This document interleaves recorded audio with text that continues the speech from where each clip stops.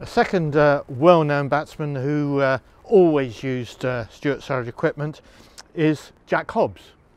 Now this, this is his bat from the 1905 season where he scored 155 runs against Essex and uh, 94 against the Australian touring team.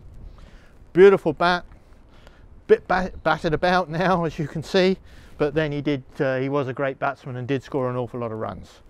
And uh, you'll notice that the thin edges they had in those days, again, the still curved toe, completely different to what we had these days, designed to make it easy for the batsman to, to run in and get his bat over the crease when he's having a quick single.